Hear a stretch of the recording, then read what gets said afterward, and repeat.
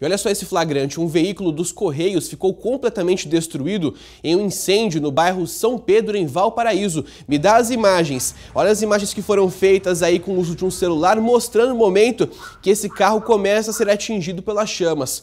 De acordo com a PM, um funcionário tinha acabado de fazer uma entrega. Ele entrou no furgão, tentou dar a partida, mas o veículo não funcionou. Na sequência, as chamas se alastraram na parte da frente. O entregador conseguiu sair a tempo, por sorte não ficou ferido, e um caminhão-pipa da prefeitura ajudou no combate às chamas. A gente entrou em contato com os Correios que informaram aí que a carga não foi danificada. Veículo já foi substituído e segue na operação aí de distribuição normal na cidade.